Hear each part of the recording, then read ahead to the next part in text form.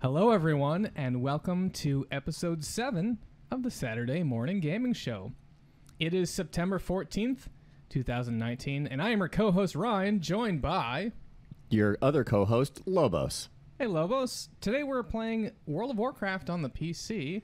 That was released in 2004, so not quite retro as per our rules. Yeah, but we let it slide. Yeah, yeah. This this was one of those that um, you know, because it just came out, the World of Warcraft Classic just came out. Yep. Uh, we wanted to get back in uh, as it was roughly 15 years ago. So the, we we want to have the possibility of doing this another five years. So I think this was uh, I think this is uh, something that really made sense for us. Uh, it, this game has both uh, impacted both of us quite a bit in just like personal A- a lives ton. and and Yeah. um, professional lives Absolutely. and all that. Now, I did want to say that uh, we are going to be covering the Horde and the Alliance, but because I, uh, Ryan, has the uh, has the, the the privilege of recording the video, I have a bias towards Alliance. So we got about 15 minutes of Horde specific gameplay and 45 minutes of Alliance, but it's not going to be focused on the factions. It's going to be mostly just for for topics, uh, conversation points that are actually shared between both races. Yeah, and I see here that um, you did a Twitter poll for the preference between Mm-hmm. I Horde and Alliance. did. Just saying. I don't I don't care what that poll says. Oh, you- oh, don't you? I don't no. I have standards. I don't pander to Wow. our fan base. Seventy-one percent prefer Horde, which means that ninety-two percent prefer Alliance. Good job, everyone. Thank you. Um, that's that doesn't. All right. Also, a heads up. Um, I was big into MMOs um, in high school and college, and the the MMO I played a lot before this was EverQuest. So I'm going to be comparing this a lot to EverQuest because it, it's important for me, and I think from a historical value, to understand why some of the changes in World of Warcraft were so monumental to the genre. Yeah, that makes sense. I never played EverQuest, so I'm interested Mm. to hear. Yeah, well, Yeah. you know what? We got to get you playing EverQuest one of these days here.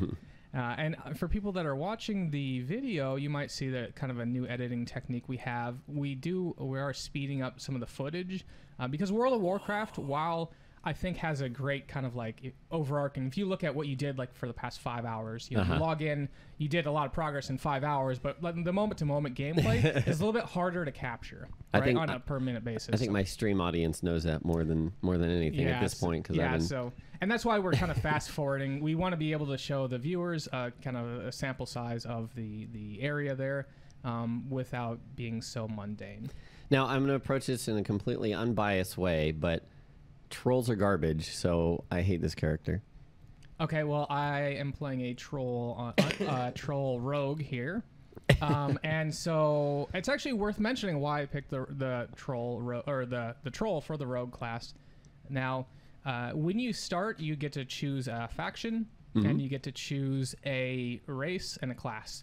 Now, not not all classes are available uh, to all races for or sorry, all factions. So the alliance True. gets the paladin, the um, horde get the shaman, Yep. and that's the only the only um, discrepancy there but then you choose your race and at least in classic the race does kind of dictate the class that you can choose Yeah, some are very locked. Like Tauren is the is the only race that a shaman can be, for example. Um, I think the most versatile is warrior. A lot of the races can be warrior, but then like hunter is a little more limited and kind of spellcaster ones. Um, but they opened that up much later as as WoW progressed. and and the other so why would you choose one race over the other um, well each Oh, race actually has Wait, oh wait, druid. Oh yeah, orcs can be shamans too. That's oh right. yeah that's true there so uh, each, each race does have a unique s- set of skills that uh, um, someone may want, you know, and there may be opinions on the internet about what, you know, if you want to be a rogue, this is the best um, race to have, or a priest, this is the best race to have. But the reason I went with the um, the um, troll for the rogue is you have this adrenaline ability where every I think it's every two minutes you can use it, and then it basically increases your attack speed. Yeah, berserking, Yeah. troll berserking. Yeah, and so each each class has like kind of a, a cool little uh, active ability you can use, and I think they all have a couple passive abilities you Yep. can use. Uh, like for instance, the undead can swim underwater without having to breathe, um, and the hu- if you're human, you actually get, I think it's five percent increase. Um, faction Repu- gain, reputation gain. reputation, Yep. which becomes that's kind of more of a late game grinding thing. Yeah. But um, I always like Tauren because Tauren gets the War Stomp ability, which is AoE stun up to five enemies, and they also have like five percent more health by default.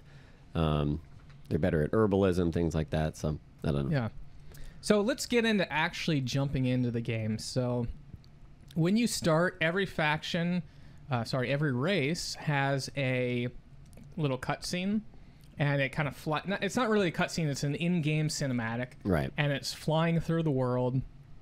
And what I think was really interesting about there is they still have the players that are being rendered.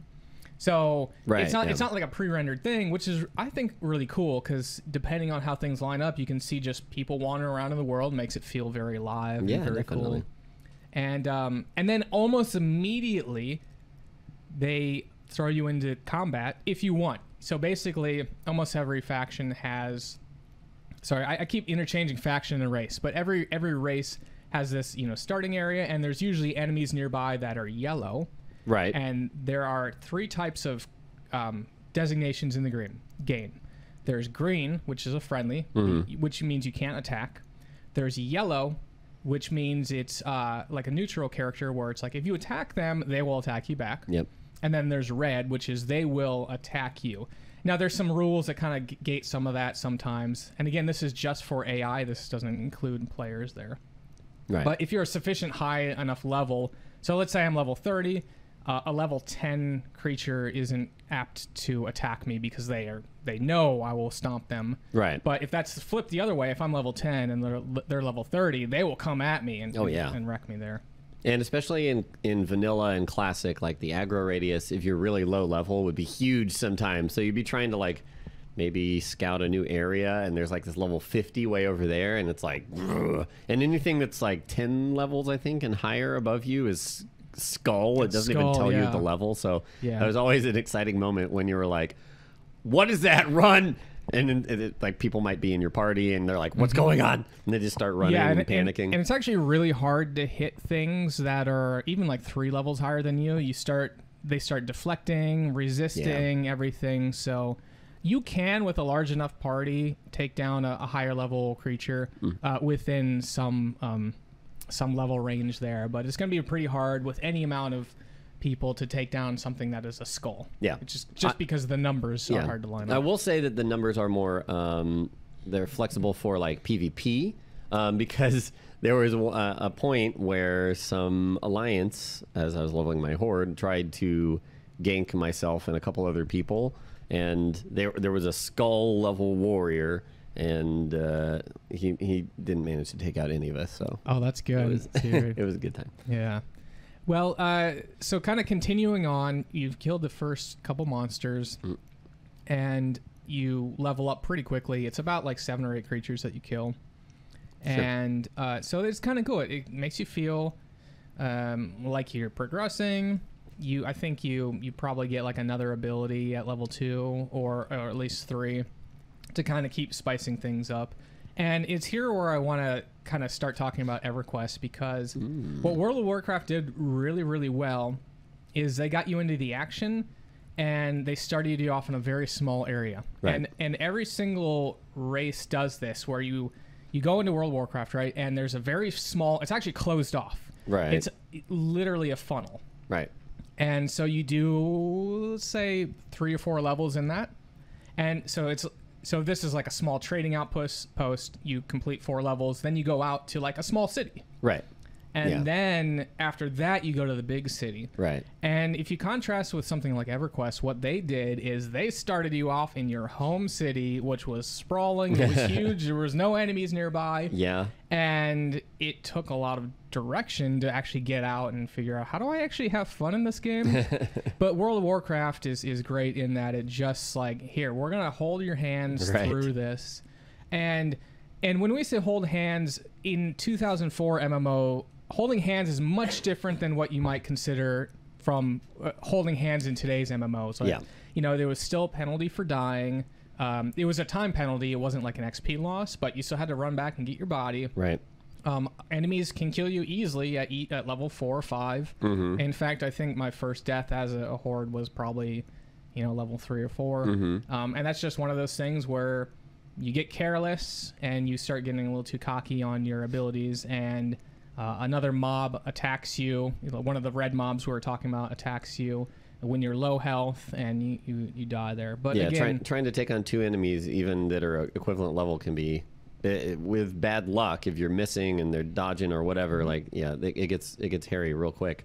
But also another thing for that um, kind of not holding your hand, they don't even have like any quest indicators by default. Um, they have they have an indicator if there's somebody on your mini map that you need to turn in a quest to, but other than that, it's all about reading and and Mm-hmm. it's pretty good. The most of it, for the most part, of telling you where to go. But some quests are just like, yeah, I need you to kill this. Good luck, and then you're like, what? Where? Yeah. Okay. Yeah, that's a good point. And I actually tried to play this game without using any mods or Yeah. without re- using any website help, and it was fun because it would be like, "Hey, the the scallywags in the northwest, they they Yeah. stole my whatever. Go kill seven of them and collect their insert random body part here." Yeah. and and so you do that. You'd be like, "Okay, it says to the west. Okay, up here, I think this is it." Yeah. But the worst are when they're they're not very specific, where they're like, "Hey, someone stole my ring. Go try to find it," or something like that. And then you're like, "Well, okay, do I need to kill someone to try to get Yeah. the ring, or is it Find it on the ground. is it on the Yeah. ground?" And the worst part is sometimes those things that you pick up on the ground are randomized in Right. terms of location. Yeah. So you can see someone run up to, let's say they have to pick up a crate. You can see someone run up, pick up that crate, and it'll actually despawn in the world. And then sometimes it'll respawn in the same spot, so you can pick that up also. But sometimes it goes somewhere else in the world. And so you, you're kind of like, all right, well, now I know that there's the crate that moves around in the world, and I have to go find it each time. Yeah. Um, but again, those are small little details that uh, really, if you're if you're not in it just for the classic, what you do is, uh, you know, you talk to people. You, you say in general, hey, where's the ring? Or you just go on the internet and say, hey, where's where's the ring there? Yeah, it really encourages like social interaction, whether it be for figuring out quest or for just getting help to to clear to a certain objective or whatever. Which, um, you know, modern WoW has that, but it's all automated, and once you're done, everybody kind of disappears, and then you don't see those people again necessarily. And I mean, we can talk about it a bit more in depth, but the route that WoW has gone these days, like it's understandable with the requirements for the MMO to stay like seemingly populated and and not you know reduce wait times for everything you're trying to do, but at the same time it takes away from this personal feeling when everybody that you play with is always on the same server and Yeah. you're going to see them constantly while you're leveling and then at max level in, in all the battlegrounds and all yeah, that stuff. Yeah, I'm glad you brought that up because I wanted to talk a little bit about this. Is um, these I, I call them um, um, micro friction points in this, and so um, you and I both have have experience on the back end of of an MMO, so we understand the sort of business realities of anytime you have a micro friction point. That's anything between oh I can't get a group to do this dungeon, Right. um, there's no one to talk to. Uh, I can't buy anything off the auction house because there's nothing there. It's hard to find uh, battle or PvP matches. Right.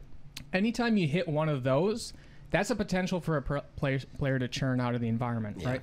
And so it's a necessity for these really big budget uh, MMOs, you know, World of Warcraft included, to try to smooth out those micro friction points such that it's a smooth experience for the majority of the people. Yeah. And that works out really well, especially when you're, uh, you know, a, a, father or a mother and you have like an hour to play before you put your kids to bed or after Right, you put your kids yeah. to bed, and you just want to make some progress. And so, you know, that's that's great.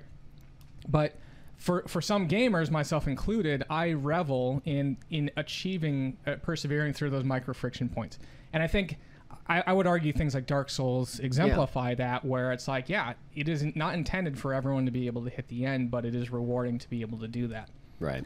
And so I think that's why I, I, I prefer the experience of WoW Classic is there's all these little things you have like I have to shout over and over and over. I, I'm looking for a healer. I'm looking for a tank. There's no way that this is going to automate me. Also, if I find a tank and he's really good, Yeah. I'm more apt to friend him. Or if he's really bad, I'll be like, I'm never partying with that guy again. Yeah, yeah. It just strengthens those bonds when you do find somebody that that is helpful or good at what they're doing. That you know you're attached to them, and you go, you think about it next time you need that role or or whatever to fill a, a position. You're like, okay, is that guy on? I'll see. I'll whisper him, see what's up, and then yeah, it just builds those social links like so Mm-hmm. and those, much more. And those last Yeah. absolutely, and it's really do. great. And, and those friendships, you know, you, you hear all the time of people getting married through Yeah. MMOs or Yeah. just meeting and having um, um, group meetups, um, lifelong friendships. Um, Mm-hmm.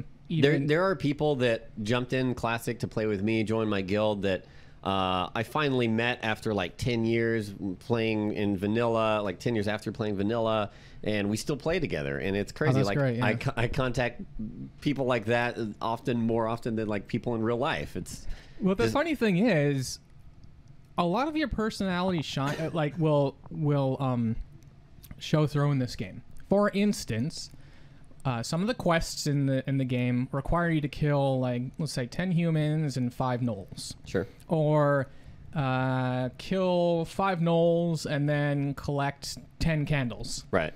And so, well, often what will happen is you'll be finding other people in the group, and there's like, or, or, or around the area, and you're like, hey, let's group up because then you everyone shares the kill.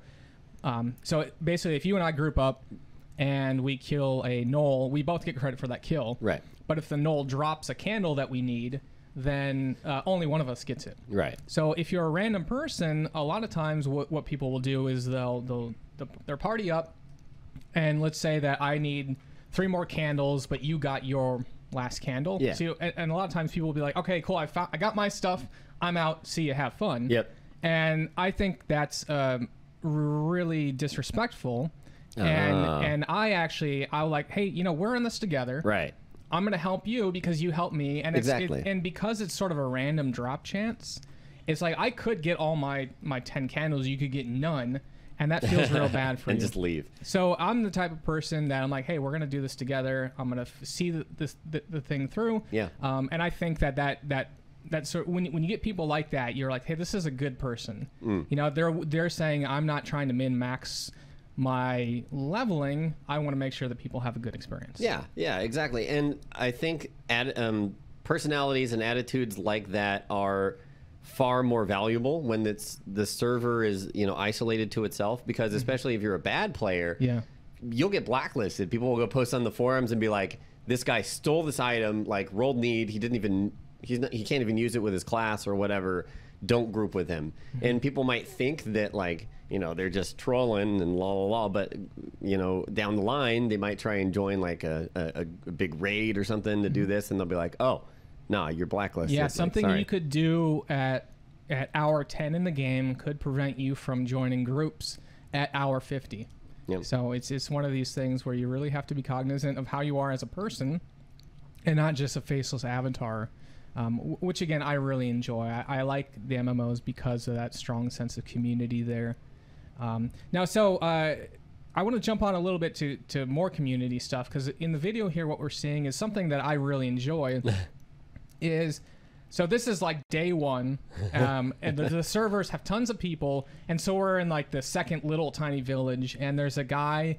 He's like, "Hey, I'm making linen bags for everyone. All you have to do is bring me six uh, linen." And so uh, to kind of put some more context in this, you have a limited inventory space to start with. You can carry what like 12 or 14 items. Yeah. But then you can craft these bags, and each of these bags, depending on the, the type of bag, you can increase your inventory space.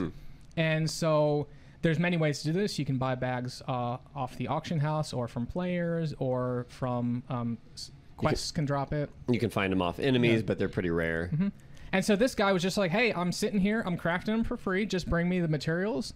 And and so there was literally just a line of people waiting patiently for him to craft it. Yeah. And and it's it, he's getting a service out of it also because he's training up and, and um, getting a higher uh, tailoring skill, which Yep. is the skill that requires or is required to make bags. But uh, it's really cool to see that sort of like, all right, this guy is helpful. And when I get to that point, I want to do that same thing. Right. I want to help out other people because I think it feels good to, to be able to help out people that are lower level trying to get up, uh, and just in like very s- small bursts. Maybe that just means I buff them as I if, I- as I run by them. Yeah. Maybe that means I craft a bag. Maybe that means I give a guy ten silver if he's looking for it. You know. Yeah. Uh, there's a lot of uh, ways you can really kind of prop up the community here. Yeah, like like you were saying, it really does bring up people's personalities because you could become the guy on the server that just like chills in one spot and will perform, you know, service A or B, and you you make a name for yourself. And at a certain point, like if you're looking for the kind of work that that person does, you're not going to look for somebody else because you know this guy is the dude that does all that stuff. And stuff. when you craft the item, it actually imprints your name on it. oh So, right, yeah, yeah, So if you make even a better, bag, if you make a bag, it'll be like, okay, you made a woolen bag, and it was made by and character name. So yeah, yeah, yeah. yeah. exactly. So yeah, and, and there's a lot of ways to even though the the kind of design is around getting max level, acquiring gear and loot, and then doing raids and stuff like that. Like you can play in many different ways. You can you could never do a dungeon or raid and just collect things, or you could just you can have a goal of just being the best you know profession uh, best at your profession on the server, or just playing the auction house, just making money. And there's just so many ways to approach it. Yeah, yeah, that's a good point. There are a different way, a bunch of different ways to um, sort of progress through this game, including uh, you know XP. Uh, ultimately, you do want to hit level 60, but there are different ways of getting XP. You can uh, you can just kill monsters. You can do quests. You can do a combination of those. You even get X, uh, uh, XP for exploration, although it's very small.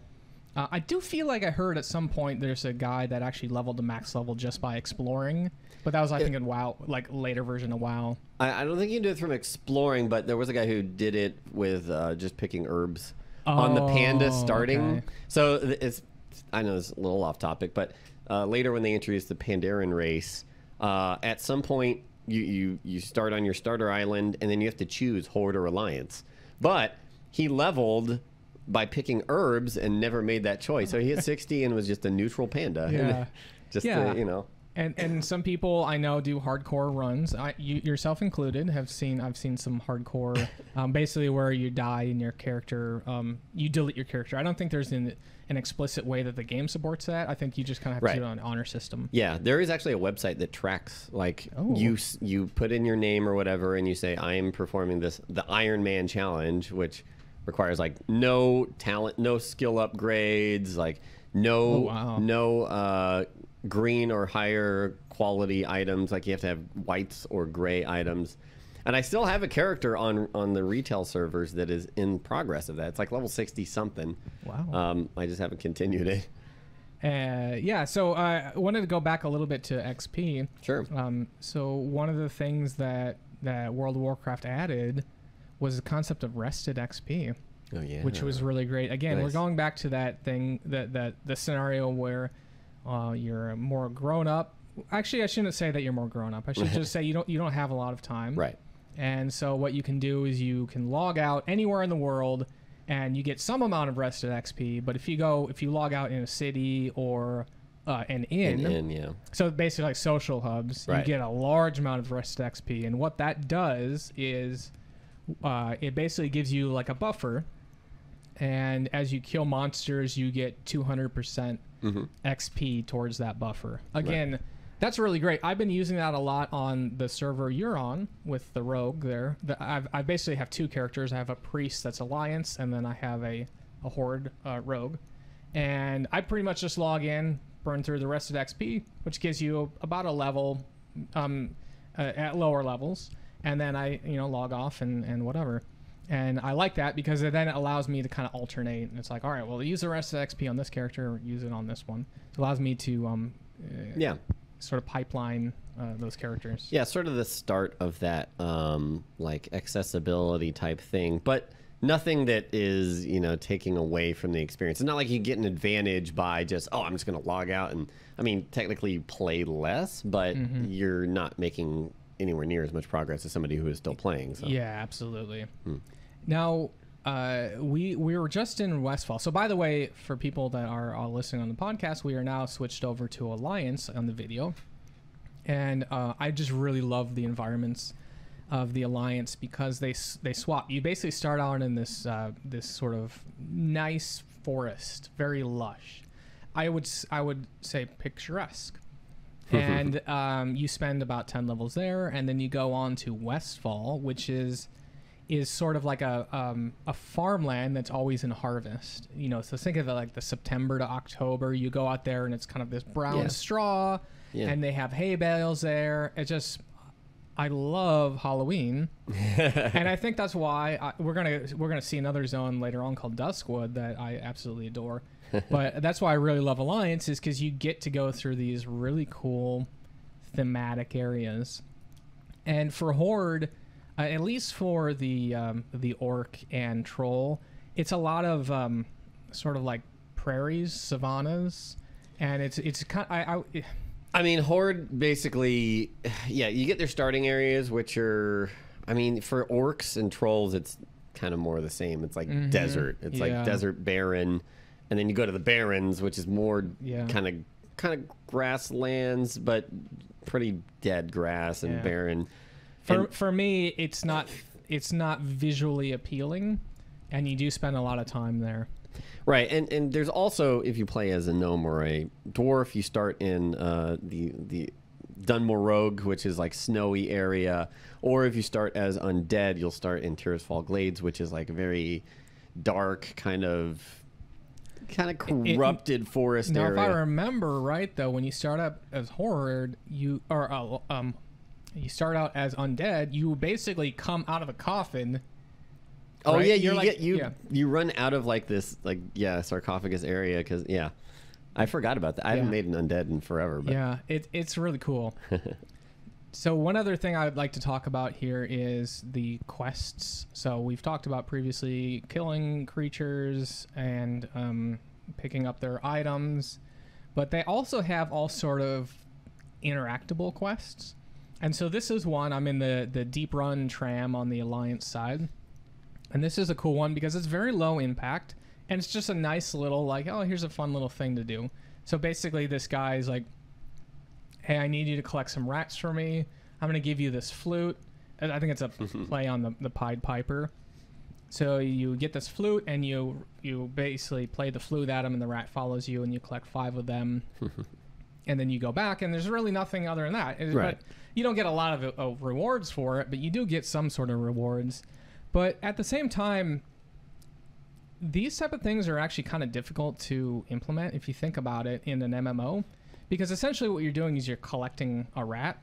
Sure. But but MMOs are somewhat transient in nature in that like let's say you have 4 out of 5 rats captured, what happens if I log off? Mhm. What happens if I leave the area? Yeah, What happens if I delete the, you know, so there's all these little things where these these quests while seemingly are, are very simple in nature, there's considerable amount of stuff on the back end to actually support like all the different scenarios that could happen to a player that uh, may not actually exist midway through the quest. Sure. you know? And so those type of things are really kind of interesting to to look at and it's like they they beyond the simple things of just killing 10 monsters or whatever they have some of these collection quests where um, sometimes you're collecting rats sometimes you're collecting other boxes or whatever and then turning those in Yeah. uh, and it's also worth noting you know going back to everquest quests existed in everquest but they were kind of hidden it, a lot of them was basically like you'd have to know what an a, uh, NPC was looking for. So basically, you go up to an EverQuest, you you say, "Hail, Bob," and Bob would say, "Oh, uh, I've got a quest for you," and then you can type in, you know, what's the quest, and he can tell you, "Oh, go kill, go get ten of these things." Okay. Um, there's no tracker. You don't. Rem- Oh. there's no way to remember that other than to write that down. And then you go over and you you literally give him those ten things, and there was no real acknowledgement that you were giving him because of the quest. Right. Right. You could give him nine things, Yeah. or you could give him ten of the wrong things, and he'd still take them. Right. And so questing, Bob. so yeah, so questing in EverQuest was very rudimentary, and in World of Warcraft really had this you know really refined quest system where it was like no you can only give these 10 items when you have those 10 items and then you get rewarded and it's very clear like uh, when you when your quest is ready to be completed there's a question mark saying hey he's ready to complete the quest a question mark over his head Right. it says hey turn in the quest here Yeah. so, um, uh, again, big strides from EverQuest, which, um, by the way, EverQuest was released in 1999, so just five years um, difference between those two games, and this just was, you know took EverQuest and they they kind of uh, you know ironed out a lot of the big issues and streamlined a lot of the the experience. Yeah, I think like five years probably is how long they spent making the game, right? Like maybe five to seven years. I'm not sure, but uh, clearly a lot of it was modeled after EverQuest. They wanted to do their own take on an, on an MMO. Excuse me. Are you okay over there? I think so. Okay. I think so. They had they had a bunch of very popular IPs, um, StarCraft, Warcraft, uh, Diablo Mm-hmm. at this point, and they uh, they just wanted to do something bigger and, and yeah, WoW is what yeah, came from it. good point. And um, you know, like you said, they modeled this off of EverQuest, and we know that for a fact because a lot of high-ranking Blizzard employees had a very powerful guild in EverQuest called Legacy of Steel. Ooh. And um, so um, uh, I think it was Rob Pardo was one of the, the people. Jeff Kaplan, uh, although he wasn't working at um, at Blizzard at the time, Jeff Kaplan was uh, uh, um, came on board to uh, help World of Warcraft after being in one of the best guilds in EverQuest uh, called Legacy of Steel. And there's little references like Diablo 3 will have a uh, shop called Legacy of Steel. and I think Uh. actually even World of Warcraft has a shop called Legacy of Steel or something like that. It's kind of Nice. referencing that. So yeah, a lot of uh, a lot of real passion for MMOs and EverQuest came into uh, World of Warcraft. And you can y- y- again, you can definitely see the things that they made. Um, they improved, like you know, for example, the Griffins. Um, Being able to, there's still a lot of traveling from point A to point B, but once you get there, you can, uh, many times each zone has a Griffin point, which acts as almost like, um, it's not really a fast travel because you still have to ride the Griffin from point to point. Mhm. But you Faster can, travel. Faster travel. and you can basically jump on the Griffin and kind of go make a sandwich. And Yeah. he'll be there in three or four minutes there. Uh, and so that was a huge quality of life improvement there. Now, we're getting to uh, where are we? Uh, I forget the name of this zone here, but it's one of the. It's like the third or fourth zone you go to as an alliance, and uh, Loch Modan. That's what it's called. Loch Modan. Yeah. Yeah, yeah, yeah. And so we're starting to get to the point where they're going to do a lot more things where you go get a quest and it says go kill 10 of these guys and you, you go back and you're like all right sir i killed the 10 guys you wanted me to the guy's like great go kill 15 of these other guys that are right back where you were. Yeah. and then you're like okay cool. I, am going to do that and you go back. And then he's like all right. Are you ready for this one? You're going to go back there but next time you're going to kill 20 guys and the big boss The big boy, yeah. big boy. So Yeah. they, they kind of get a lot of uh, reuse out of their content here Yeah, and uh, part of that I feel like is is narrative, right? You you'll start in an area and they'll be like, "Hey, there's these pesky like kobolds," and you go and you take out the kobolds, and then you go back and they're like, "Well, they're still messing around with our stuff. There's got to be another nest of them over here." And then you go over there, and then they're like, "Well, we found the leader." And take out the leader, and then all's good. And then to do that, you complete the quest, and then they're like, "Thank you," and you give you a reward, and you're like, "Okay, cool. I get." You know, there were steps in that storyline, and Yeah. I completed it, and yeah, I feel good. I feel good about that. That's a great segue because we're going to talk about how that storyline progresses for the Alliance at least. Oh, So uh, early on in the very uh, very first starting areas, you hear about this this um, mm, I guess kind of like a pirate gang called the Defias, ah, yes. and they're um they're a bunch of rogues who are just causing trouble and a bunch of bandits, and you actually are killing Defias all the way from Elwynn, which is the first area, to Westfall, which is the second area, and then you finally get to go raid the Defias group Mm. uh, in the, the Alliance's first dungeon called the Dead Mines. Mm-hmm. And this is really cool because this arc continues, and actually it even goes past this. So once you kill the Defias leader, uh, his name is Van Cleef. Yeah. Once you kill the Defias leader, it actually then moves you on, and so you actually have this narrative. It's it there is a narrative there. I think it's it's kind of loose, and if you're Yeah. looking for like a really strong story, it's not that. Right. But at least you have this narrative throughput where it's like you can see the progression and, and, the, and who's working for who, and how this all ties into your adventures through Azeroth There. Yeah, you've got reasons for what you're doing as opposed to just like, Just Ah, let's go kill some dudes, Yeah, yeah. because I need to get uh, The loot. I need to get a bub of XP. Here. yeah, yeah, precisely. But uh, so we we entered the dead nine dead mines. I um, about level 18. I think you can start getting here around 17 if you really want to push it. But this was a really great experience for me because, again, being the first experience, uh, the first dungeon I've been to, I, I had nothing, no idea what to expect when I first played this. I played a lot of EverQuest dungeons, and Yep. the way that EverQuest dungeons work are completely different than what we have here. So first of all, EverQuest dungeons were all um, completely open spaces. Ah, they were not yes. instance. So that was a big change. World of Warcraft added instances. Instances basically means that you have your own private dungeon. yeah, But what you would do in EverQuest is you'd go in there and you'd you'd call a camp check, and that basically what that means is that uh, there'd be like five or six camps that would respawn monsters over and over and over, and so you'd sit there and camp that mon- those monsters and just kill them for hours and hours and hours. and if you wanted to go do a dungeon and it was all camped, you could not do that dungeon.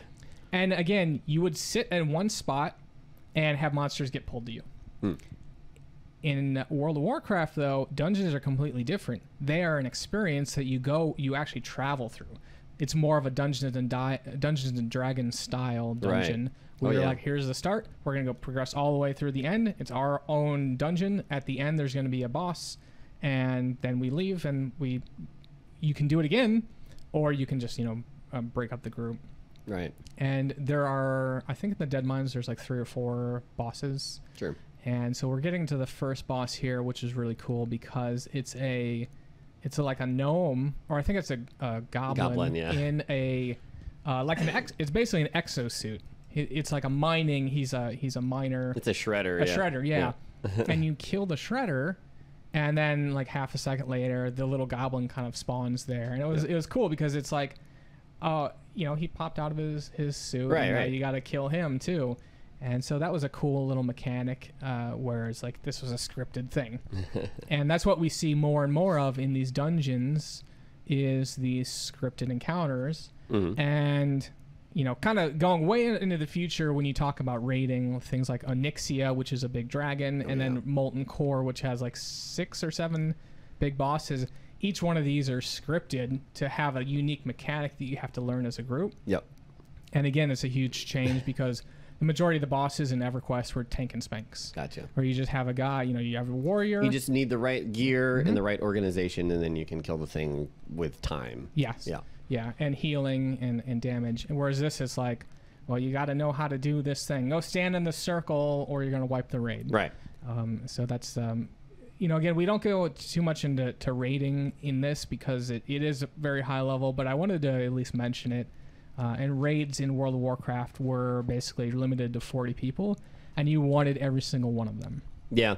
Uh, for me, raiding and and dungeons are what brought what really like solidified my love for MMOs, just because it's such a unique style of gameplay. Playing with so many people, where you need to organize what everybody's doing, and you all need to show up at the same time and go do this thing. It's to me, it's such a special like just a type of gameplay, like I said.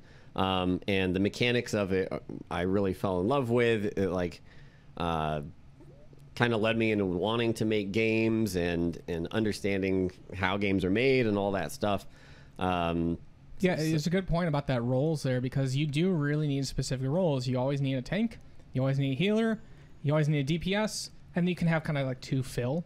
yeah, But yeah. ev- every single group needs that, or, or else you're gonna have a real hard time going through. And that does uh, um, go back to that real um, strong identity as a player. If you're known as like a really great tank, Yeah. or a really great Oh, yeah. healer, people are gonna remember you and really want to bring you in. Um, to that group there, and and similarly, I think it's cool to make a name for yourself. You can make those big plays, well, uh, where like the party's down and out, but you keep them alive as a healer, and people are, wow, that's Yeah. awesome. And then Yeah. you kind of feel good about being able to like you know single handedly pull the fight out of Yeah. the fire there. Yeah. Um, I'll just really quickly touch on like probably my favorite raid boss is, um, well, there's two of them, but I'll talk about one that's in vanilla actually. In the uh, AQ40 raid, there's a boss called Viscidus, and basically only Horde would kill this boss because they had shamans and they had nature resist totem, which helped with a lot of nature resist for the fight. Um, but it was this big blob, and the blob would constantly just shoot out like poison bolts this whole time. And what you needed to do is you needed to hit him X amount of times, like 100, 150 times with frost spells. And the amount of damage didn't matter at all. So you'd hit him enough in a, fr- in a certain period of time, otherwise he would unfreeze, and you'll freeze him solid. And at that point, most of the raid, which is standing really far away out of range of these poison bolts, runs in, and then you have to hit him physically enough amount of times in a certain amount of time in order to shatter him. And then he, mm-hmm. he'll explode into 20 equivalent blobs around the room that slowly converge and then reform into him. Oh, cool. And every blob you kill is 5% of his health. Okay. So it was just awesome. Like, so you have to do that cycle probably a couple Yep. times to get him all down. yeah, he Oh, that's cool. reforms and then he has as much health as, and then the raid runs out again. Mm-hmm. And so you basically have like a single group of five people in there just like doing frost spells and stuff until he, it, it'll tell you like he's getting ready to freeze. And then everybody starts running in. As soon as he freezes, everybody's like meleeing. Even the, the spellcasters are just like hitting with their like their sta- staves and stuff like that. That's really, cool. Really Just trying love to do that so fight. much damage there. Yeah, yeah. Yeah, that's awesome. Now we're uh, continuing on through the dead mines here. As you can see, the vo- the footage is fast forwarded just to make sure we can kind of go through Squeeze this. But here, yeah. but this is uh, we're getting to this point that I thought was really great because up until now you've been going through. You start out at the mines and then you kind of go through like a factory slash smelting thing, and then you open up this door Oh, and it's like this this small little inlet with a pirate ship. Yeah, it's like the Goonies. I watched the Yeah. Goonies recently, Oh, and yeah. that's totally what this reminds me of. And that's really cool because you come out of here and you're like, wow, this is a completely different area. Yeah. And it, again, it's selling that sense of progression through the dungeon, Right. Which is really cool. It's like, okay, I understand because you, you know you see the wood being chopped up, you see the iron being smelted, and you're like, what's going on here? and you get, it's like they're making a huge ship, and this thing is big. This is like, um, like a three or four decker um, pirate ship here, so it is absolutely, uh, absolutely huge. and um, so th- we're gonna get to another boss kind of coming up the boardwalk here, and I think his name is like Smite, and he's a big Tauren guy. Mm-hmm, And one of the things that's great about him, we were talking about these scripted fights earlier, is every I think it's like every one fourth of his health that you get down, he's like, "All right, I'm done with you guys," and he stuns everyone. It's a Yep. forced stun, and then he picks up a new weapon. and I think the first time it's like you know a bigger sword, Yeah. and then he takes like a two handed battle axe the second time, or, or some sort of progression. Yeah, but yeah. that's kind of cool because there's not much you really do other than just okay, just keep attacking him, burning him down. Right. But to see that sort of like we're gonna progress through the fight and make it more difficult, we're gonna mm-hmm. ramp it up. He's gonna get more angry. Yeah. I think it was really cool just to just to have that experience. Again, almost every single boss, except for the last one here, Van Cleef, I think has a special mechanic with that there. Yeah, And- it's a very cool fight. And one thing I wanted to touch on was the fact that um, World of, World of Warcraft uses a lot of like comedy, but they also have like elements that are really cool. So like you'll fight a dragon, or you'll be in this awesome pirate ship, but then you fight like the chef, and it's like this little Murloc, and he's just. But uh, yeah, they, they really interplay that stuff. Uh, really oh yeah, well. and and they go hard on the puns here. They, yeah. um, oh yeah. I remember there's one there's um there's a place that you go to late on in the game. I want to say it's like level 50. It's a, I want to say Un'Goro Crater. Is that a Uh-huh. is that a, a, That's a level area, yeah. That's an area.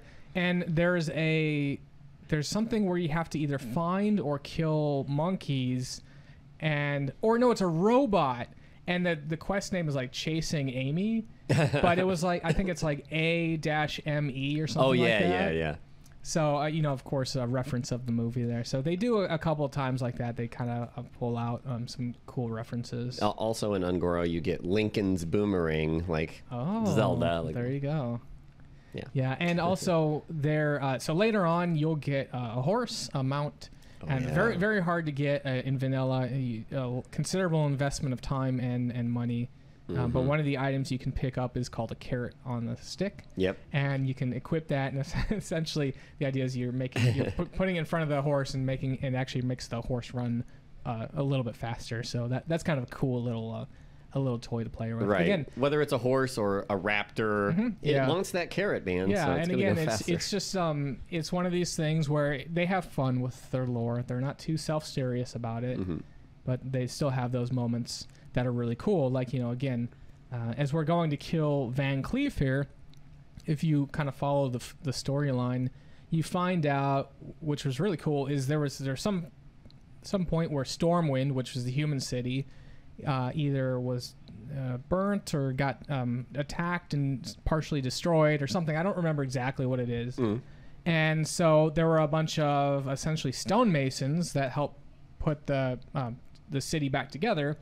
And when it came time to settle up the debts, the Stormwind uh, magistrates were basically, "Hey, we're not going to pay you your full your fair due. We, we're just going to give you what you're worth." And so Van Cleef was very unhappy about that, and he basically formed up a gang to kind of like get back at him. Um, and, and I like that because it's like Van Cleef doesn't seem like a guy that's just he's he's not the the mustache twirling evil person. he's like no, you can see how he was wronged by the the leaders of the human civilization, and it does paint that gray area where it's like, you know, you still have the horde and the alliance, but the the alliance isn't perfect. Right. They're not a bunch of like you know. Um, um, guys that are are are They're um, not just heroes that are just in the, you know, in the limelight, just Yeah. doing the right thing, do Yeah, good. they have faults and they have greed and they have corruption, Sure. and so uh, I, I can appreciate that. And similarly, you on the horde side, you'll see that there are people like the, especially the Tauren. They they seem like a very spiritual race, right. You know, and they're they're not necessarily evil in the way that you might consider like an undead to be evil. Um, Right. They're all about nature and stuff, and I feel like humans, even even seeing Tauren and if they're like nice and stuff, humans will be like, oh, that's like a bull person, like that's that's weird, like that's on the other side, kill them or something. know? Right, right, right. Uh, let's see here. Yeah, so um, the dungeons here I wanted to point out is um, the dungeons don't really allow you to reset. Uh, although if you do what we just did here, you can. So we're basically exploiting the pathfinding, and the AI can't get to us because there's a, a we we jumped on a thing, and there's no way to actually jump onto that thing. Um, so the AI reset. But in general, if you aggro something in a dungeon, you either need to zone out of that dungeon or kill it or die. There's uh, unlike the uh, the outer worlds, where after some time the monsters will essentially leash, and they will evade back to their their starting point. Again, going back to EverQuest, this was a, a kind of a big change for quality of life. Um, what would happen in EverQuest is if if I let's say that I aggroed a monster, and then I came and ran next to you, and then I went invisible. Yeah. The monster would be like, "Oh, it's Lobos! I gotta kill him!" and so, what a lot of times what you would have is what's called a train. Which, by the way, in this game you can do a train command where they're like, "Woo woo!" Right. um, a train of monsters, which essentially they would gather too many monsters that that their party couldn't kill it, so they'd all try to run out of the zone, the dungeon in EverQuest.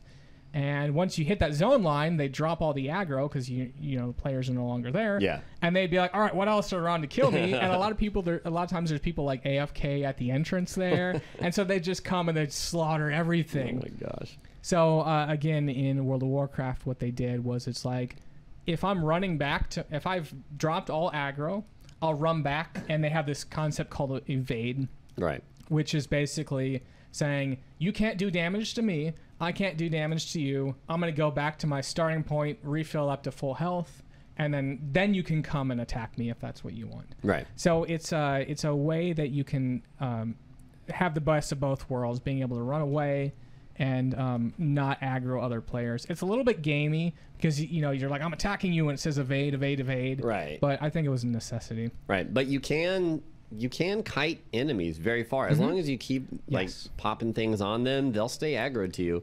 Yep. And there's been a couple times in WoW history that were notable because outdoor raid bosses were excuse me outdoor raid bosses were pulled all the way to cities and they have these mechanics where they like pull everybody to them in in you know that's out of range, and it'll just pull the like almost the entire city to them, and then kill everybody. And there's just corpses everywhere. It's great. It- it's ridiculous. It's awesome though.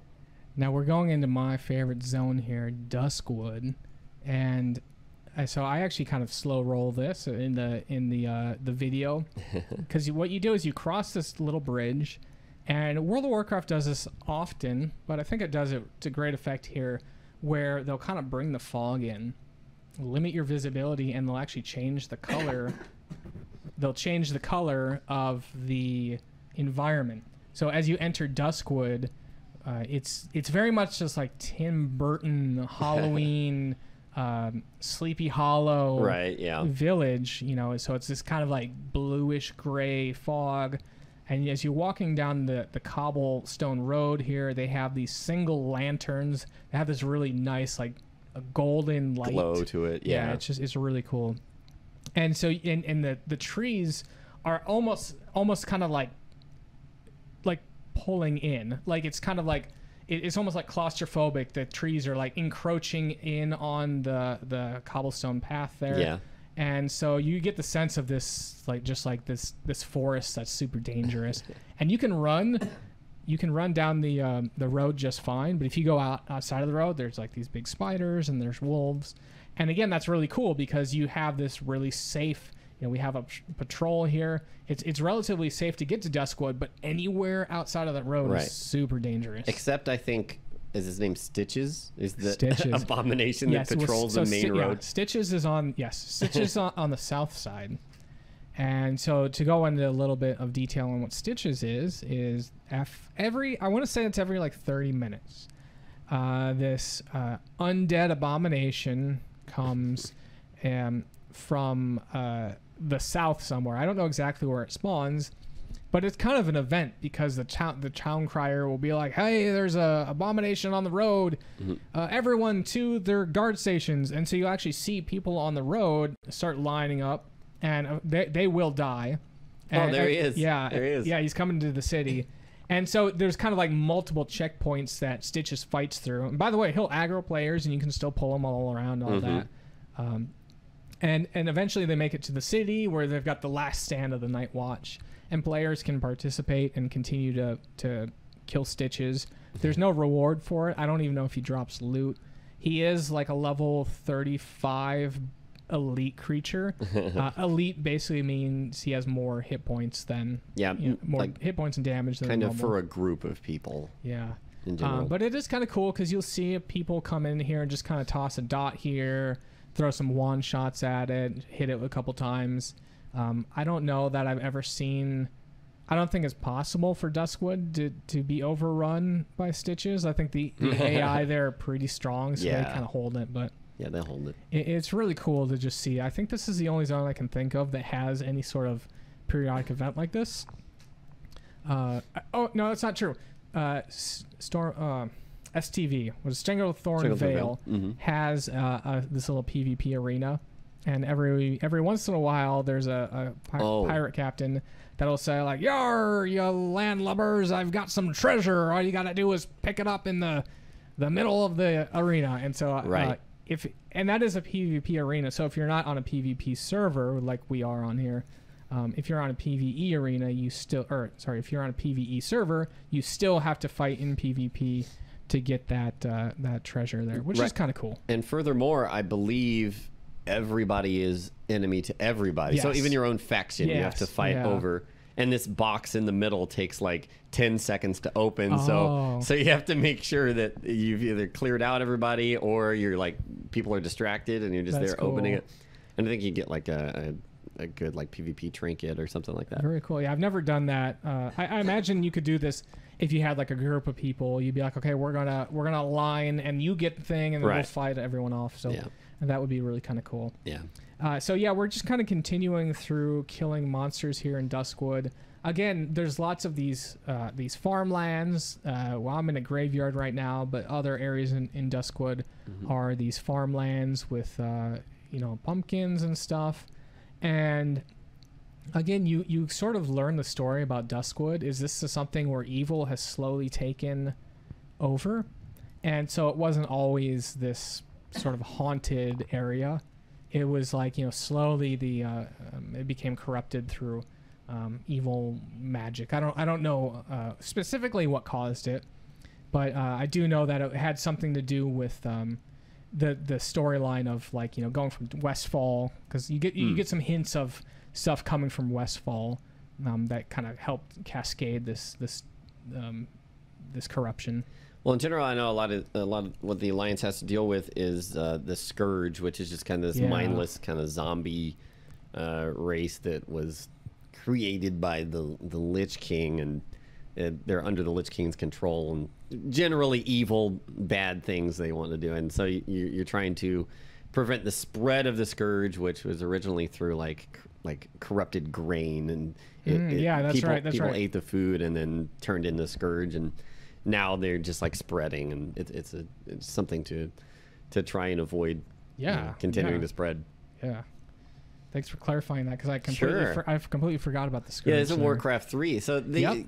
Warcraft ha- does have a a lot of lore going into Mm-hmm. World of Warcraft, and I think that's why a lot of people were like super into it because they played the Warcraft series all the way through. Mm-hmm. Um, Warcraft three in particular had a ton of story. Yeah, like the Um, the stitches we are talking about is actually an abomination from Warcraft 3. It's one of the units that the undead have. Right, yeah. And so there's a lot of familiar things you're seeing here, and I think the story even takes place like like three or seven years later. Not too far in the yeah, future from Warcraft Thr- 3. Thrall is basically like the war chief there. Um, also, one thing uh, we'll get to this part uh, in a bit here, but uh, one of the interesting things about Duskwood is there's a the quest. There's actually two quests that require items. Um, so one is a bronze tube, which can be crafted or Mhm. picked up from the auction house, mm-hmm. and the other is some Stormwind spices. Mm-hmm. And what people will do is they'll buy a bunch of those, Yeah. come to Duskwood, and be like, "Hey, I'm selling these. you know, you want you want to complete the quest, or do you want to go back? You want to spend all that money going back to the flight path and all that, all that time? No, just buy it for me for an extra two silver. Exactly. So that again, that's really cool that they have this sort of built-in um, economy or um, way to, to ex- extract money. Uh, actually, in, in EverQuest, one of the things they would do was they uh, so money actually had a, a weight to it, and so you would carry too Oh. much money and you couldn't move. They'd have people. they would have money exchangers that would come to Zone and be like, "Hey, for ten percent, I can give you." Because basically, you could take your platinum, or you, sorry, you could take your copper, which is the heaviest thing, Uh-huh. and, and move it up to the silver, gold, and Ah. platinum. You're like, hey, you know, you want to give me your your gold? Yeah. I'll give you platinum to offload you Nice. for a little bit of a cut there. So it's cool. nice. Uh, so we're actually kind of finishing up the video here. Uh, but this is the last thing I really wanted to touch on is that sense of community Oh and excitement. Uh, and sometimes, you know, like I said, the moment to moment gameplay in World of Warcraft or most MMOs is tolerable. But it's moments like these that you kind of remember and that stick in the back of your head. oh yeah. And so this was opening weekend, and they just said, "Hey, everyone, come to the park here in Stormwind, and we're gonna have like a procession." And it, it was uh, sort of a role playing thing. Where like, "Hey, our our fallen brothers and whatever, we're honoring the the fallen brothers," and so we all kind of they, everyone kind of gathered. Of course, there's the like, "What's going on? How do you know who's who's running the show?" You know, there's all sorts of little comments, and there's some people that are trying to role play here. I think I, I said like uh, my friend died in the war and he still owed me five gold pieces. um, and so again, these little community moments they have no um, physical impact in the game in terms of progression. Uh, but I think this this allows you to sort of uh, have a little bit of breathing from the the grind of leveling Mhm. and trying to farm gold. It's just I want to be part of this zeitgeist and um, and so it's still it's funny because you see with all the people here there's definitely technical issues people are popping in and out Right. at some point the the leader because everyone's like following the leader here uh, at some point the leader actually like um, goes away and comes Yeah. back, he la- lags out Lags out. and so like everyone's like where do you go what's going on uh, and again that's the brilliance of mmos is that there's technical issues and sometimes you just have to pretend that tho- those don't exist i always think of mmos as sort of like there's the game Mhm. and then there's g- there's the game as it was intended and then there's the actual game that was implemented and sometimes the gameplay straddles between the two, where you kind of have to game how the system works, Right. Um, because of limitations of the system there. Yeah, Yeah. I remember one particular uh, event on my server in Vanilla. Uh, there were two characters who ha- they, were, they had some sort of dispute. I don't remember, but they said that all right, we're going to duel in that Gurubashi arena in that free for all spot, uh, and whoever lost had to delete their character. And so they they scheduled it you know days in advance the whole server shows up and is circled around the the outside of this arena. They show up. The server's lagging so much. Nobody gets anything done. Everybody eventually just jumps in and starts killing each other. And great. and it, it, it was crazy. It, but it was a good Did time. they ever schedule a makeup duel? so I, I i heard that they eventually did a duel kind of outside to the side and no nobody deleted their character Yeah, so that's a hard thing. that's a lot of Yeah. time to I think when. I when I finished up here uh, over my three weeks of playing World of Warcraft Classic, I think my played time was like three days on one character. yeah Um, so and, and, you know that's real world days, so it's 24, 72 hours.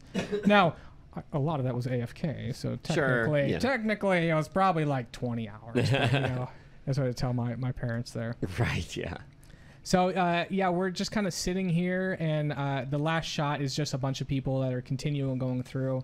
Uh, if I were to guesstimate, there's probably 300 people that were at this procession, and I think their their end goal was to go up to Tarren Mill and like raid the area there. oh my gosh But like anything, trying to mobilize a group of that many, uh, you, you eventually get to Tarren Mill or wherever you're going with like one tenth of the people that actually. Um, yeah people lose interest and stuff last night on our server uh, they raided our uh, they raided thrall the orgrimmar like Oh, city yeah. leader and killed him Oh wow! so he was gone so Oh, interesting. you couldn't like turn in quests to him or anything and everybody was like oh he's dead but, yeah. well, yeah. So there's really no end credits to World of Warcraft, but we've we've kind of hit our hour limit here, and I think that was a really great spot to, to stop off on. there's so much to talk about There is, yeah. i've been enjoying classic so much man like Mm-hmm. i don't know it's it's it's tough to not just schedule all my time on stream for classic but i know it's not the most exciting to watch so yeah, yeah.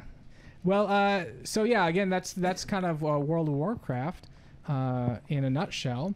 In I a hope that. I hope that that kind of um, resonated with a lot of people, and they really enjoyed uh, their times in World of Warcraft Classic as well. mm-hmm Um, so a cou- couple um, closing things here. We did want to give it a shout out, of course, to our Patreon members that joined over the last episode.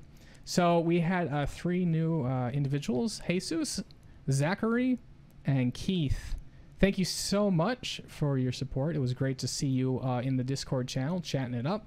Uh, I think um, we've got some real big chatters in there, which is great. nice It's keeping me uh, keeping me active. Uh, lots of lots of really great uh, World of Warcraft stories being told there, um, and some help in some of the other games there. So I uh, really appreciate you all coming out there and and, and helping um, support the community there. yeah And uh, of, of course, if you also want to join in the Discord or the Patreon, uh, whatever it may be, just head on over to patreon.com slash Saturday Morning Gaming Show to learn more. We have a lot of rewards there, including the Discord channel. We got some uh, behind the scenes footage there. Uh, and then uh, every week we have this little thing called midweek moment where it's just Oh, yeah. Lobos or I sharing about a minute or two of some some retro game experience, which I absolutely love. I think it's really cool. yeah Ton, tons of those to Tons of To those to listen go. to, so. Yeah. yeah So let's uh, actually talk about the Hall of Heroes. Absolutely. Yeah, the Hall of Heroes, um, well, I'll read this, Yeah. is a chance for you to flex your gaming cred. Each episode, simply play and beat whatever game we're covering. Then you take a snap of the, the end screen or whatever progress we designated you to make um, and send it to us at the our email, Saturday Morning Gaming Show at gmail.com. And we'll get you added to the list. It's just kind of like a scoreboard that Yeah. uh, we've got various. Most of the time, it's just a certain amount of points based on how long the game is Mm-hmm. um, to to complete it. This one was uh, it was five points for every five, for- levels. yeah, and so all the applicants that sent in their stuff, uh, they all got to level 20. Level 20, So they all get the full 20 points there. So actually, Very let's go ahead and uh, Yeah, let's swap let's over to that. yeah, talk about the uh, Hall of Heroes entrance for World of Warcraft Classic. The first We've got Alamaxia. Oh, let's see if we can full screen this. I don't think it's gonna much get much bigger, but oh, wait. Yeah, zoom, job. zoom skills. So Alamaxia said, World of Warcraft is where I earned my MMO chops. I know life's my way through part-time retail work, part-time college, and full-time World of Warcraft starting out in beta. I still remember my very first raiding night. I was on standby for a solid 30 minutes before being finally called into Molten Core. That's what any good mage would do. I spent with time at that time making water for the casters. I ended up with 40 stacks of max level water. Needless to say, I stuck around this game for over 10,000 hours and three a lot of expansions. hours. It is. And it spawned my love hate existence of MMOs that has spanned multiple server first raid achievements across multiple games. Wow, congrats on that. Thank you, everyone in the Wolfpack Guild who has made this classic experience truly classic. Yeah, and actually, Alamaxia had a much longer uh, write up that we uh, reposted with his permission on the Saturday Morning Gaming Twitter. Oh, awesome. So take a look at that at Saturday M Gaming. I think it's a, a really, really great story. Excuse me. Wow. Alamaxia also, um, Wow. wow, indeed. wow, indeed. Wow, classic. Alamaxia also created an add-on for our guild that allows you to use uh, my Twitch emotes and other people's Twitch emotes in the in the chat in game, which is pretty cool. So thank you for that. Um, oh, can it not? No, no. Next, next, net, Next. net. Why isn't it job. nexting? Shouldn't it be next? Next is boom Haratham. Here's Goobus crushing it on Kromcrush. Loving classic. Feels like I'm back in high school. I want to note that very fancy monocle he has. it's wonderful. It's a very nice gnome he's got there. Brisk Mountain. Don't know if you can see it clearly or not, but it's level 24. Yeah, you can see that. Yeah, I, I believe you. Allergy per problem. that sounds like me right now. Um, Gaming Steiner. Uh, so many great memories came flooding back on this one. Good call. Keep up the great content. Looking forward to the next classic. And Next Star just started listening to the podcast yesterday in the background while playing WoW. So of course I had to join in on this one. Just got him the 20 last night, a bit after the Shadowgate episodes. Great work, guys. Keep Yeah. it up. So Next Star is actually new, and because of the points in there, he's actually uh, pretty high up there. So let's take a look at nice. the uh, the The rankings? standings. Yeah, the rankings. So at 15, again, the Kyle Mack, Detache Senpai, Splov one, and Kyaku at five points. Now they are a little bit in danger of getting knocked off. So if you Uh-oh. you might want to try to get next game done. Yeah, ti tied at number 11, Dog Type, Jazz Never Sleeps, Lulu Kachu, and Yoshi 355 with 10 points. At 15 points, we have Tub- Tobanaga at spot number seven. Number six, Nexstar, a new entry there. Yeah. Mm-hmm. At 20 points there, right? Yeah, 20 points. Alamaxia at number five with 25 points. Nonsense Magia, number four with 30 points. Number three, we have Heratham at 50 points. And sitting pretty up top, number one, the pair, Gaming Steiner and Brisk Mountain, 55 points. I have to say, it's good to see them up there like brothers. I don't know if the next game is going to allow that. Uh oh, we're gonna have to see Yeah, uh, we got we a can. little bit. We got a little special rule going on. we here. do, we do. But what is the next game that we're gonna be doing? Well, the next game is actually the first of its type because neither of us, prior to deciding it, had ever played that game. So we're we're both going in new. Now I have such, such, since completed it. oh, okay. So I'm behind, but Yeah. that's okay. Go ahead. Do you want to you want to say what it is? Sure. The next game is brrr, Super Mario RPG. Yeah, for the SNES. And that's one that people have been like, Lobo's got to play this. That's a good a game. bunch. So it's a good game. I it, it took me about uh, 19 hours to complete, cool.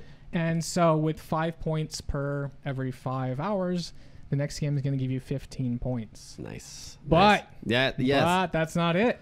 So, to spice things up, we want to add a little special challenge. mm-hmm. All right, so in Super Mario RPG, there's an attack that you can jump repeatedly. Um, actually, this was uh, courtesy of Alamaxia, so I wanted to give him credit Oh. for this really fantastic idea. There's an attack that allows you to jump repeatedly as long as you succeed in the jump. So you can basically hit as many consecutive jumps as possible. A timing thing. A timing thing. Yeah. My max was 19. mm-hmm. Now, if you can beat my max, so if you can hit 20 or above, you'll get five additional points. Okay? But the person that sends the highest will get an additional five points. So Oh boy. it's a possibility for either Harathan, Brisk Mountain, Game of Skyner to secure that number one spot. Oh there. man. Separate Yeah. them out. Or who knows, someone like uh, Al Maxi or Nonsense Megia could come in and upset with a higher value. I mean, anything can happen. I'm really excited about this. Anything can So just to confirm, 15 points for beating, five points for beating my jumping score, and then fi- an additional five points for whoever gets the highest. So possibility of Being 25 points there. Now, in the game, there is an NPC you can talk to. If you don't know where it is, please look it up to confirm your how many you did. Oh. So there's nice. two ways to, you can confirm it. One, you can get it on video. Hmm. You know, if you're streaming, shoot me a link, whatever, uh, pre-recorded video, whatever. Or you can go talk to this NPC and he'll say your highest jump count was this. Nice. So those are the only two ways that I can confirm it is that you've sent a picture of what the uh, NPC says, or that you actually get it on camera. So Gotcha. uh, Cool. good luck to everyone. 19, pretty good. I don't think it was that hard to hit, uh, but I think I think people. I would not be surprised if I see we see 40s and 50s. I did 200 lightning dodges in Final Fantasy X, so Yeah. we'll see. We'll see.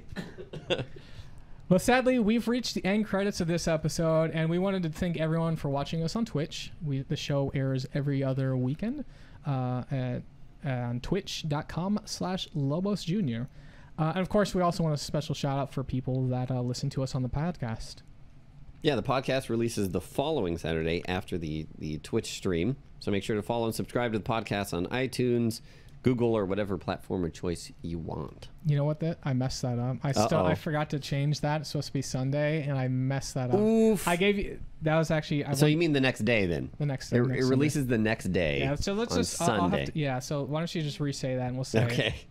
Uh, Twitch airs. and our Twitch airs every other Saturday, and the podcast releases the very next Sunday. So make sure to follow and subscribe to the podcast on iTunes, Google, Spotify, whatever you want.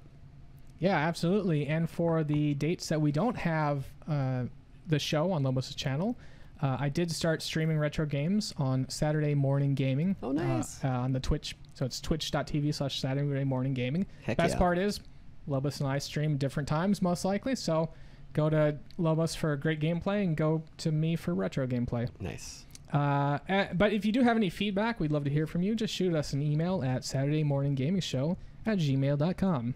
Or follow us on Twitter at Saturday M Gaming. And a special shout out to Technoax for much of the music this episode. For Saturday Morning Gaming, I'm Lobos. And I'm Ryan. We'll see you October 5th for episode 8 Super Mario RPG. Yay. Good job. GG. That's the end of the Uh, podcast. and actually, friends. astute, uh, astute observers and listeners may note that October 5th is a little bit, is like three weeks out, right? right, yeah, because I'll be at TwitchCon end of September. Yeah. Um, so yeah. Oh, you know what? Link's Awakening remake comes out too. hmm Ah, Link's Awakening's a good one Yeah. too. You'll have you'll have three weeks to play this game, so Yeah. you, sh- you should be good. yeah, You this should give me that should give me some good time. So cool. All right. Well, thank you everyone for stopping on by. Again, we really appreciate all the live viewers here. It's great to see you having fun in chat. So, what do you got go, going on today, Lobos? Uh, today is going to be some more Blasphemous. It's a good kind of ca- Castlevania, Metroidvania game, and uh, then I'll be jumping back onto more WoW Classic uh oh. because I got to keep that going. But the episode is over. Yeah, well, the uh, the the life continues though. the game All goes right. on. Well, I'll definitely be uh, watching you on that. So, Sweet. Uh, that the blasphemous looked a little like Dead Cells and the stuff. It that I saw. does. Yeah, the art style is very Dead Cells, but it's you know it's it's not randomized. It's a set path through and kind of has you know good level design, shortcuts, and that sort of stuff to get back to areas. That's great. yeah. So yeah, cool. Well, we'll see you guys in a bit for that. In the All right. meantime, enjoy the tunes. See Bye, ya. guys.